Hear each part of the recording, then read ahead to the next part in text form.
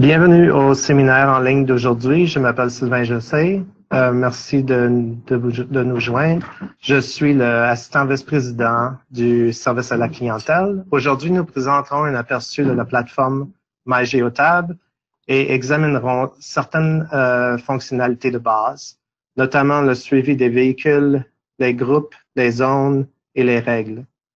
Je suis accompagné aujourd'hui de Mario Quinteros, chef d'équipe des spécialistes de formation de compte, qui présentera euh, dans un instant. Je vous présente maintenant Mario et vous laisse pour sa présentation. Merci beaucoup de nous joindre aujourd'hui. Merci Sylvain. Euh, bien, mon nom c'est euh, Mario Quinteros. Je suis le chef d'équipe ici de notre équipe d'implémentation. Merci pour vous joindre à nous ce matin et prendre le temps de euh, faire euh, partie de cette, euh, de cette session. Cette session sera seulement une session vraiment générale de manger au tables et vous laisser savoir un petit peu plus d'informations puis les, les applications bases du système. Donc, c'est quoi Qu'est-ce que est le GeoTab Go? Le GeoTab Go, c'est un dispositif de suivi de véhicules. Et bien sûr, c'est de GeoTab, donc c'est de premier plan.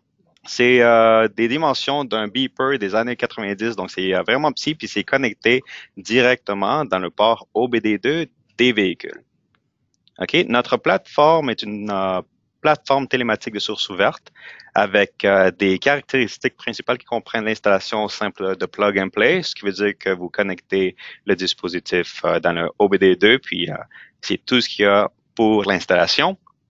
Ça a un temps d'acquisition GPS le plus rapide dans l'industrie, également un enregistrement de données de euh, la plus haute qualité. Euh, on a aussi euh, de la détection d'accidents avec notification dans le système, de la capture de données de véhicules avancés. Et on a des applications, ou comme on dit en anglais, des add-ons vraiment puissantes et un écosystème extensible pour s'assurer que votre flotte soit l'épreuve du futur.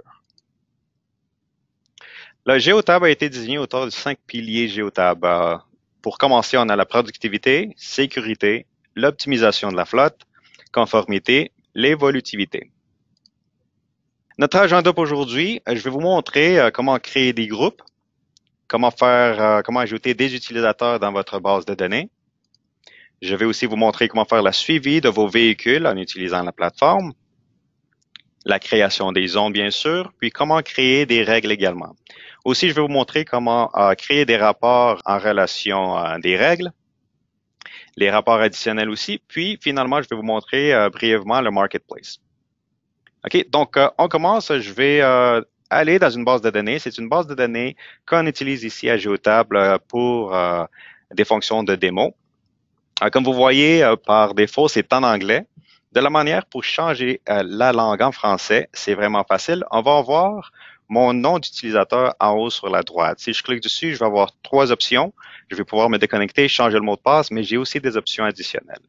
Par cliquant sur Options, sur le milieu de la page ici, sous Language, je vais changer ça en anglais, de l'anglais au français, et je vais faire un save ou enregistrer et recharger la page une fois.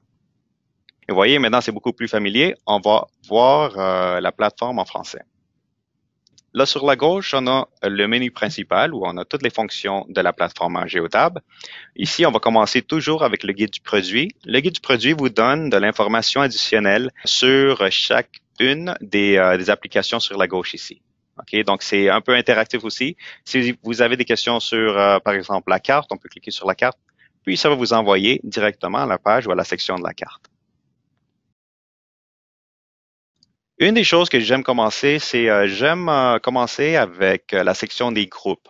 Puis la raison pour ça, c'est que beaucoup de fois dans notre organisation pour la gestion de votre flotte, c'est important de faire la division entre type de véhicule ou simplement accès à travers de vos, de vos personnels de gestion de flotte ou simplement par location. Si vous avez un bureau au nord puis un sud, vous pouvez faire la séparation directement.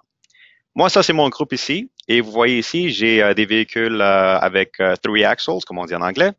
je peux aussi faire la séparation entre les, États-Unis, le Canada, puis j'ai le Québec ici. Par exemple, aux États-Unis, j'ai un groupe dans les groupes. Donc, on peut continuer à faire ça pour faire la séparation des groupes. On a aussi le filtre de groupe ici en haut sur la gauche. Et si je fais euh, seulement si, euh, par exemple, je veux voir seulement voir mon groupe euh, QC, donc je vais écrire ici QC. Donc je vais faire QC. Puis je vais cliquer sur tout inclus dans QC. Et voilà. Donc maintenant de, de cette part, de ce moment-là, je vais juste voir l'information inclue dans les groupes de QC Group en bas. Donc, euh, je vais euh, continuer ça sans le filtre. Si je continue avec euh, mes véhicules, je peux voir la liste de mes véhicules sur la gauche aussi. Et ça, c'est tous les véhicules qu'on a ajoutés dans cette base de données pour une démo. Pour voir mes utilisateurs, je vais aller sur la gauche sous la section d'administration et cliquer sur Utilisateur. Pour ajouter un utilisateur, c'est euh, vraiment facile. Si on peut ajouter euh, ou créer une page de Facebook pour euh, nous-mêmes, on peut ajouter un utilisateur ici par simplement cliquant sur Ajouter. Une fois qu'on clique sur Ajouter, on recommande qu'on utilise un courriel pour le nom d'utilisateur. on va écrire le prénom de l'utilisateur, le nom de famille, puis ça, ça va nous aider comme, comme quelqu'un qui est en train de faire l'administration de la plateforme, ça va être beaucoup plus facile à faire la gestion euh, des accès et des utilisateurs euh, en quantité. Là, ici, euh, si on veut forcer un changement du mot de passe, on va dire oui, mais la seule requête pour ça, c'est que ça ici doit être une adresse email. Si c'est pas une adresse email, c'est ça c'est correct, il n'y a pas de problème. On va devoir faire la gestion nous-mêmes des mots de passe de chacun des utilisateurs qu'on ajoute. OK? Ici aussi, dans la section d'habilitation de sécurité, on peut euh, faire des habilitations de sécurité personnalisées aussi, mais on en a par défaut euh, dans les systèmes également. On peut aussi euh, limiter l'accès aux données. Par exemple, si je veux que cette personne ait accès à tout dans ma base de données, on va écrire tout, on va laisser comme ça, ou on peut spécifier à quel groupe cette personne va avoir accès seulement. On va toujours avoir le même format dans toutes les pages. Va toujours avoir des euh, onglets sous le titre dans la section de chauffeur, par exemple. Si je veux désigner cet euh, utilisateur comme chauffeur, on va dire oui, puis on va remplir la reste d'informations, également avec le numéro de permis de conduire si on en a besoin. On a la section de paramètres d'interface d'utilisateur, de UI. Puis ça, c'est la même chose que l'option qu'on a eue avant euh, dans la section d'options. La seule différence entre ça, c'est que si je clique sur option en haut dans la page sous mon nom d'utilisateur, ça, ça va être pour mes options personnelles à mon nom d'utilisateur. Ça ici, c'est pour l'utilisateur que vous êtes en train d'ajouter dans le moment. OK, on peut spécifier la mesure de distance, la mesure de consommation de carburant, le format de la date et de l'heure, également que le fuseau horaire, puis, vous pouvez commander au système à quel jour commencer la semaine.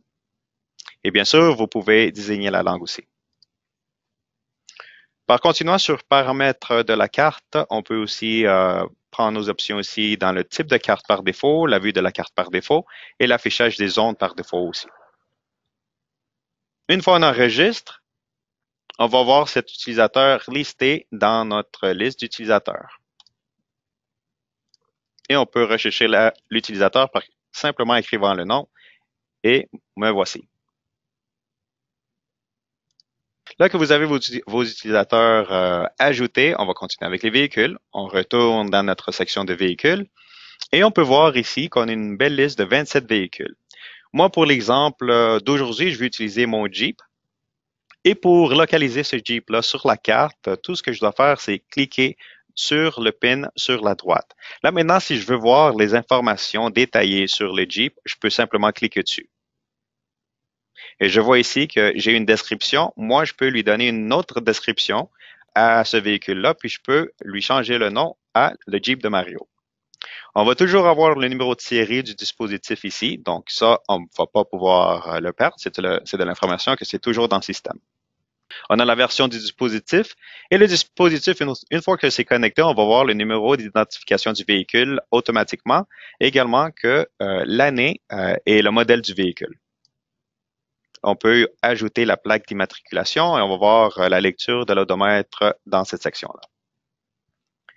Il y a quelque chose ici, ça c'est la section où euh, tous euh, les gérants de flotte sont contents de voir. Ça, c'est les avertissements sonores dans le véhicule. Le dispositif est équipé avec un petit speaker qui va faire des bips si une des règles ici sont brisées. Donc, dans ce cas-là, on va voir le plus populaire, c'est l'avertissement de vitesse. Si j'active ça, je vais avoir des options ici. Moi, je vais commander au dispositif, dispositif de faire un bip une fois que ça arrive à 100 km par heure. Puis, je vais lui, commenter, lui commander d'arrêter de faire un bip jusqu'à temps qu'il revienne à 85 km par heure. Donc, ça, c'est actif maintenant. Donc, la personne qui est en train de conduire mon Jeep maintenant euh, va avoir ces règles-là une fois que je clique sur Enregistrer. Donc, ça, c'est euh, autour de la sécurité des chauffeurs euh, quand ils sont en train de conduire. Donc, on peut aussi activer euh, les bips sur les conduites dangereuses, euh, on peut faire des bips en reculant dans la cabine, puis faire aussi euh, un avertissement pour la ceinture de sécurité comme euh, pour rappeler au conducteur de se boucler le ceinturon. OK, donc pour restaurer ça aux paramètres par défaut, je vais simplement cliquer par défaut, puis c'est tout désactivé pour le moment. Là, la section de groupe, si vous vous rappelez, je, vous, ai montré comment faire des groupes euh, antérieurement. Donc ici, moi, euh, j'ai déjà listé euh, ce véhicule-là dans deux groupes. Donc pour vous montrer comment faire ça, comment, ajouter ça, si vous vous rappelez, le nom de mon groupe, c'est QC. Donc moi, je vais assigner ce véhicule-là à tout le groupe de QC et voilà. Donc, pour faire les rapports, ça, ça va être les rapports simplement pour filtrer dans ma base de données ici. je vais pouvoir assigner ce groupe-là, euh, ce véhicule-là à ce groupe-là. Donc, je vais pouvoir visualiser euh, le Jeep dans le groupe spécifié ici. Si on continue, dans le plan de service, je vais voir les forfaits euh, actuels de ce dispositif assigné au Jeep et je vois que je suis dans le, dans le forfait Pro. Puis, ça, c'est toutes les fonctions que j'ai disponibles d'ici en haut avec ce forfait-là. Là, si vous avez des questions sur le forfait, vous pouvez toujours euh, vous diriger à votre distributeur pour des informations additionnelles. Là, je vais retourner aux euh, listes de véhicules. Moi, je veux euh, voir le Jeep sur la carte à ce moment-là. Donc, je vais cliquer sur ce bouton-là. Une fois que je clique sur le bouton, je vois que le véhicule est stationné. Comment je sais qu'il est stationné? Je vais vous montrer et je vais afficher la légende sur la carte. Et je sais que je suis en train d'aller un petit peu trouver, c'est beaucoup d'informations, donc vous en faites pas. Si vous avez des questions, on va pouvoir les, euh, les répondre à la fin de la session. Donc, un carré veut dire que c'est arrêté. une étoile veut dire que le véhicule est arrêté dans une zone qu'on a créée. Puis si c'était un triangle, ça voulait juste dire que le véhicule est en mouvement. Il est en train de bouger, puis il est en train de se diriger dans la direction que le triangle est en train de pointer. On peut aussi euh, faire euh, le changement de vue euh, de la carte entre plan et satellite. Satellite vous donne beaucoup plus de détails, bien sûr. Puis, euh, de ce côté-là, on peut aussi changer, voir la carte, puis faire un zoom in, puis un zoom out. Là maintenant aussi, sur cette section-là, on a des options sur le haut de la page. On peut voir le calendrier des trajets pour ce véhicule-là. Donc, moi, si je clique sur euh, cette option, je peux cliquer sur option additionnelle, puis euh, je vais voir l'information pour le mois dernier. Je vais appliquer les modifications et voilà, je vois les, euh, les voyages ou les trajets pour ce véhicule-là, dans ce cas-là, le 22 janvier. je vais sélectionner celui-là si vous voulez le voir sur la carte. On va le cliquer dessus seulement et ça va vous le montrer sur la carte directement. Donc, si on fait la suivi euh, des véhicules ici, on va voir qu'il y a des petits triangles, c'est tout petit, euh, je suis pas sûr si vous êtes capable de le voir dans votre écran, mais il y, a des, il y a des flèches qui vous indiquent dans la direction du trajet.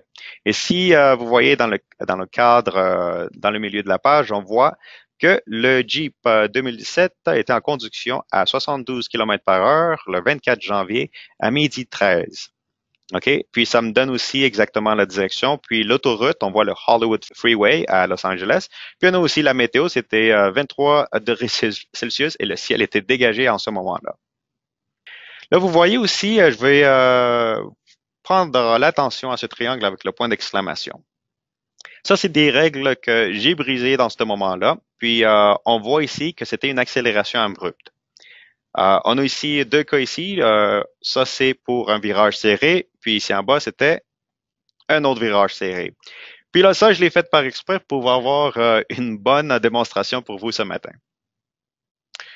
Là maintenant aussi, pour, je vais continuer avec les règles dans un moment, mais avant de faire ça, moi, je vais retourner à notre section de la carte ici, parce que je voulais vous montrer comment ajouter une zone euh, dans votre base de données. Puis on, peut faire ça, euh, il y a deux manières de faire ça. Euh, la manière la plus facile, c'est de l'ajouter directement sur la carte. Donc, pour ajouter une zone, on va cliquer sur Ajouter une zone sur le haut de la page ici, dans le bouton.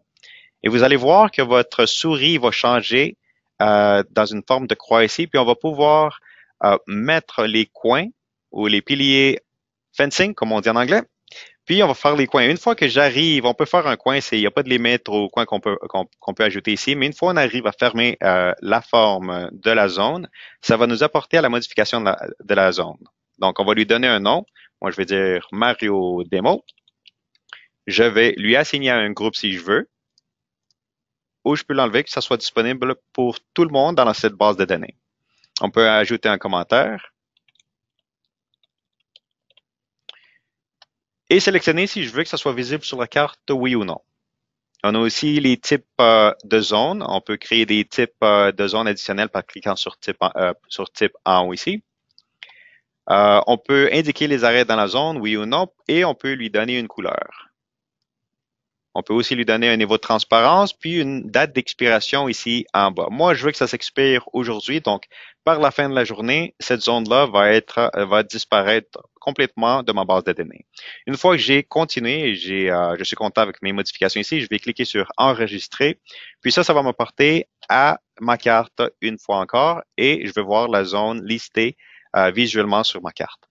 Là, si j'ai, euh, je veux modifier la zone, je peux simplement juste cliquer dessus modifier la forme de la zone et vous allez voir que je vais pouvoir faire une modification. Euh, si j'ai un point de plus, tout ce que je dois faire, c'est de prendre le point et le prendre et le sortir de la page complètement, puis ça va enlever le point qu'on a ajouté euh, par erreur. Une fois qu'on a fini, on peut enregistrer encore une fois et voilà, c'est modifié. Là, on va continuer. Je vais continuer avec la section euh, des règles. Euh, dans la section des règles, euh, je vais créer une règle complètement à nouveau en relation à cette euh, zone-là. OK? Mais avant que j'y aille, je vais vous montrer la page principale des règles. Et on voit ici qu'on a des règles par défaut. les cinq premières, c'est les règles les, plus importantes, à mon avis, le freinage brusque, l'accélération abrupte, le virage serré, l'excès de vitesse et la ceinture de sécurité, bien sûr. On a aussi d'autres règles autour de la productivité et la flotte. Puis jusqu'en bas, on va voir euh, les règles qu'on a faites euh, personnalisées. OK? Donc maintenant, euh, on peut, avec les règles par défaut, on peut faire des modifications par cliquant sur le petit crayon. Puis on peut faire des modifications aux conditions de la zone. On va retourner ici à la page principale. On peut aussi changer les forces G du dispositif afin qu'il fasse la, lecture correcte euh, des freinages brusques d'accord au poids, de votre véhicule. Donc, disons, si vous êtes en train de conduire euh, Honda Civic, euh, bon, donc ça va aller jusqu'ici. Si c'est c'est une vanne de 15 passagers ou quelque chose dans le genre, un fourgon, ça va être près ici. Donc, GeoTab le fait facile pour faire les modifications correspondantes et par cliquant sur Enregistrer une fois qu'on a fini. Pour ajouter une règle euh, euh, complètement nouvelle, on va cliquer sur Ajouter. Donc, la même chose que euh, ajouter un utilisateur. On va lui donner un nom. On va rester avec le même le même nom qu'on a fait avec la zone. On va lui donner une couleur. On va faire vert maintenant. Puis, on va lui assigner un groupe si on veut. On va ajouter des commentaires si on en a besoin. Et on va continuer sur l'onglet des conditions. Là, sur l'onglet des conditions, ça, c'est où on va spécifier les conditions de la règle. Dans ce moment-là, moi, je veux euh, créer une zone euh, pour savoir s'il y a quelqu'un qui est en train de rentrer ou bien sortir de la zone qu'on vient juste de créer. Donc, on va cliquer sur Ajouter une zone. Donc, euh, le nom de notre zone, c'était Démo Mario. Donc, voilà.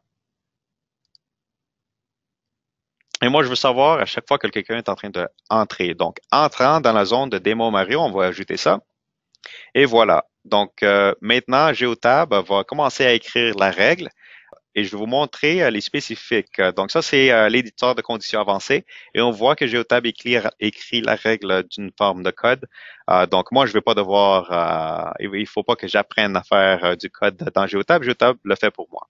Aussi, on peut ajouter des conditions additionnelles. Disons que moi, je veux savoir s'il y a quelqu'un qui est en train dans la zone à une certaine vitesse, disons que 10 km par heure ou plus, plus que 10 km par heure, on va ajouter cette condition-là. Là, ça devient un petit peu plus avancé, spécifique. OK? Donc, on peut devenir vraiment créatif avec les conditions ici.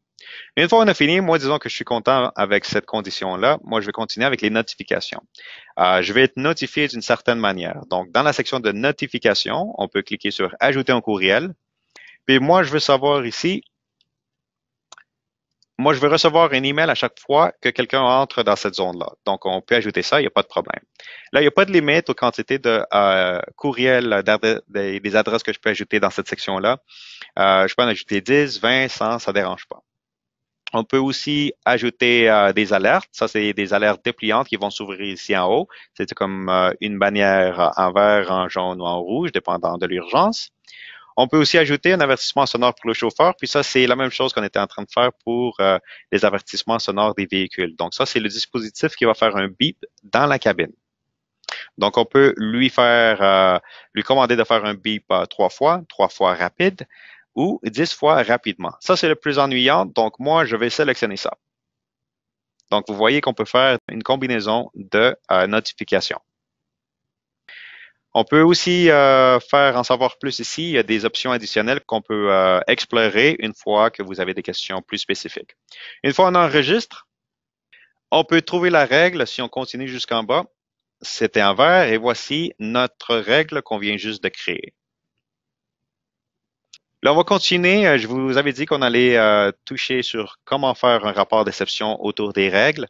Donc, moi, je veux savoir euh, comment faire ça. Donc, pour faire ça, on va aller sur la section d'exception et on va voir nos options. Ça va toujours être les intervalles de date sur la gauche, puis quelques options ici sur la droite. Donc, moi, je veux savoir les intervalles de date pour le mois dernier, pour tous mes véhicules ou seulement le Jeep. On va faire le Jeep. Donc, vous voyez ça ici spécifié sur le milieu de la page. Et quelles règles? Moi, je vais le laisser en blanc parce que je veux savoir, je ne suis pas certain c'est quoi que je suis en train de chercher. Donc, euh, pour voir tout, je vais simplement cliquer sur appliquer les modifications. Et on voit ici que j'ai une condition ici de virage serré. Si je clique dessus, je vais avoir des, des, euh, des tailles euh, spécifiées. Donc, j'ai ma date et les temps que j'ai fait des virages serrés. C'était un total de 7 virages serrés. Puis, on a l'effort G ici calculé dans, quand l'information est disponible. On a aussi euh, l'accélération abrupte, puis ça, c'était seulement une fois euh, le 22 janvier. OK, donc aussi, euh, il y a un autre bouton ici en haut que je voulais vous montrer. toute cette information-là est disponible pour vous à télécharger. Donc, ça ne réside pas simplement sur mon GeoTab, mais c'est disponible pour vous pour faire un sommaire, un rapport, puis l'exporter en format PDF ou Excel par simplement cliquant un des deux liens ici, un des deux boutons. Donc ça, c'est euh, les règles, les groupes. Euh, avant de continuer euh, pour les rapports, je voulais vous montrer qu'on a des options additionnelles pour des rapports. Par cliquant sur rapport, on a vu une vue de rapport ici dans notre base de données. Vous allez avoir des rapports personnalisés. nous autres ici à Geotop, on peut vous aider à développer des rapports personnalisés, mais vous allez avoir toujours des rapports par défaut dans votre système. Il y en a, je crois que par défaut, il y en a 30 ou 31 rapports. Et on peut vous aider aussi à pouvoir euh, les euh, déchiffrer, puis euh, vous trouver des rapports qui soient de bon usage pour votre organisation. Le tableau de bord va vous donner de l'information additionnelle. Dans ce cas-là, ça, c'est un visuel des rapports qu'on vient juste de voir. un des rapports que je voulais vous montrer, c'était le Watchdog Report. Le Watchdog, c'est, ça va vous donner de l'information à simple vue. Donc, euh, si vous vous rappelez, dans notre section de véhicules, on a 27 véhicules ajoutés dans cette base de données. Puis ça, c'est l'état actuel de chacun de ces véhicules. Donc, on a un véhicule, puis ça, c'est le Jeep que je vous avais montré, qui est OK, donc il est en train de se communiquer avec la base de données. Les autres 26 sont pas installés ou euh, dans ce cas-là, les, les autres véhicules n'ont pas installé leur euh, dispositif Go dans le véhicule, donc il n'y a pas de lecture, il n'y a pas d'information. Si vous cliquez dessus, Geota va télécharger euh, le rapport en format Excel. Et je vais vous l'ouvrir pour vous le montrer parce que c'est tout basé sur Excel. Puis on voit ici que le Jeep, on a de l'information additionnelle ici. On a l'adresse, euh, la dernière adresse qu'on a enregistrée. Puis on a ici l'état actuel du dispositif. On a les états des autres dispositifs aussi que c'est pas installé. Si vous êtes bon avec Excel, vous allez, vous, vous allez aimer MyGeotab parce que c'est basé sur Excel. Pour finaliser aussi, pour ajouter sur euh, votre base de données, on a le Marketplace. Sur le Marketplace, qu'est-ce que est le Marketplace? Le Marketplace, c'est l'équivalent du App Store ou du euh, Google Play Store sur euh, vos dispositifs mobiles, disons un Android ou un iPhone. Donc ici, vous allez pouvoir chercher et trouver, disons, euh, si vous, aimez les rapports, on peut aller sur les rapports personnalisés, puis ça va vous montrer des rapports personnalisés pour vous. La plupart sont euh, développés par Geotab. Si on clique euh, sur un de ces rapports, vous allez avoir de l'information additionnelle, une belle description aussi, et vous allez pouvoir le télécharger. Puis bien sûr, vous allez toujours avoir euh, quelqu'un de mon équipe euh, ou de l'équipe de GeoTab euh, en général pour vous aider à télécharger puis à ajouter ces rapports sur votre base de données. Dans ce moment-là, je veux ouvrir la session. Je sais que c'était vraiment rapide, vraiment général, mais je voulais ouvrir la session aux questions. Sylvain, Joseph, je ne sais pas s'il y, a, il y a des questions dans les boîtes de questions. Oui, on est en train de, récupérer toutes les questions. Euh, veuillez patienter quelques instants.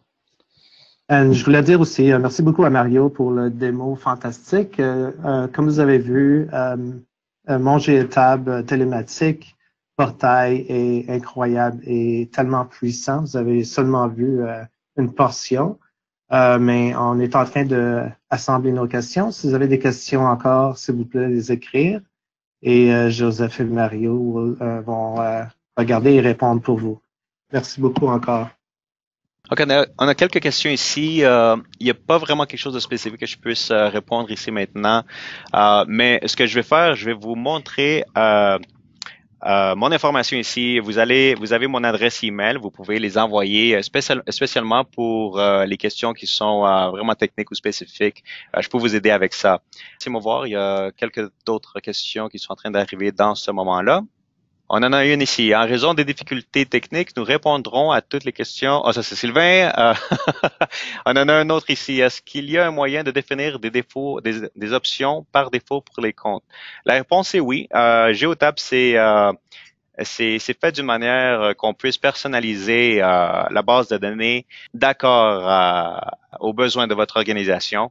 et vous allez toujours avoir quelqu'un dans mon équipe qui va être disponible pour vous, pour vous assister à faire euh, ou à développer vraiment la base de données à ce que vous voulez. Je vais continuer de laisser ça ouvert ici euh, en ce moment-là, mais je sais que ça rate jamais ici, de, qu'une fois qu'on raccroche, vous allez avoir des questions. Donc, prenez mon adresse email. Euh, moi, ça me dérange pas. Vous pouvez m'envoyer des emails à n'importe quel moment et je vais pouvoir vous répondre dans moins de 24 heures, à moins que ce soit dans le fin de semaine. Vous allez devoir attendre jusqu'à lundi.